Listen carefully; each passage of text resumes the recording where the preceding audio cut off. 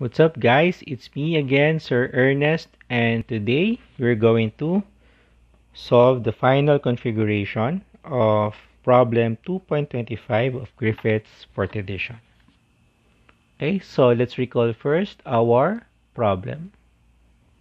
Now using equations, in this case equation 2.30, here we're going to find the potential at a distance z above the center of this charge configuration, which is a, uh, which is a circular charge configuration. And we're going to compute or verify the electric field from the potential and we, we'll, we will check whether this will yield the solution or the result that was provided by problem or solved by problem 2.6. Okay. So because this is a continuous charge distribution, again, the potential will be equal to 1 over 4 pi epsilon naught times integral of dq with respect to r. Okay, so if this is, for example, your dq, okay, this will be your script r, okay, which is r away from the center of the sphere okay so this is your z. Okay so again script r will be equal to square root of z squared plus r squared. And then dA in spherical coordinate system in this configuration is given by r dr dphi where r will range from 0 to capital R and phi will range from 0 to 2 pi. Okay, so this is the setup.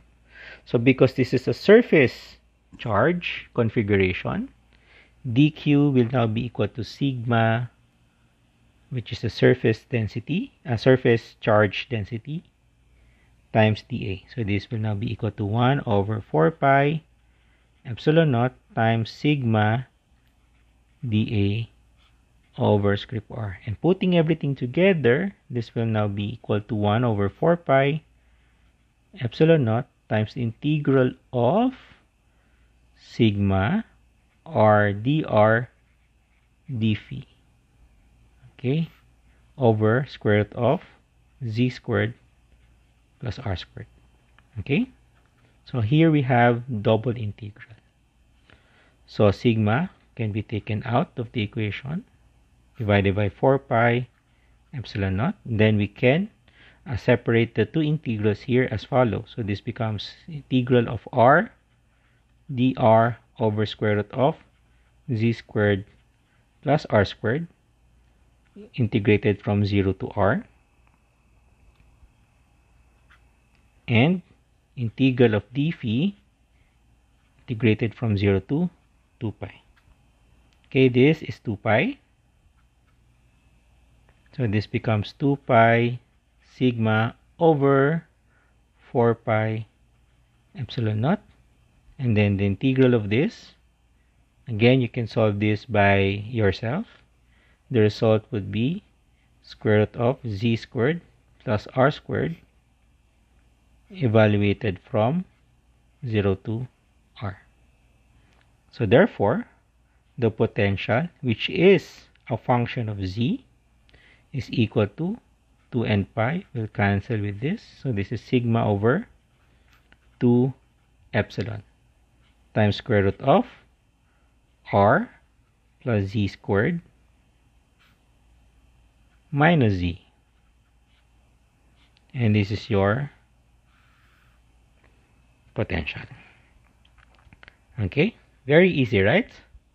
Now, uh, because the potential is a function of z, again, just like the previous two examples or two configuration, the electric field, which is defined as negative gradient of v, is now equal, it can be simplified as negative derivative of v with respect to z, which, again, you can, you can do the differentiation later which is equal to uh, indeed sigma over 2 epsilon uh, sorry over 2 epsilon naught.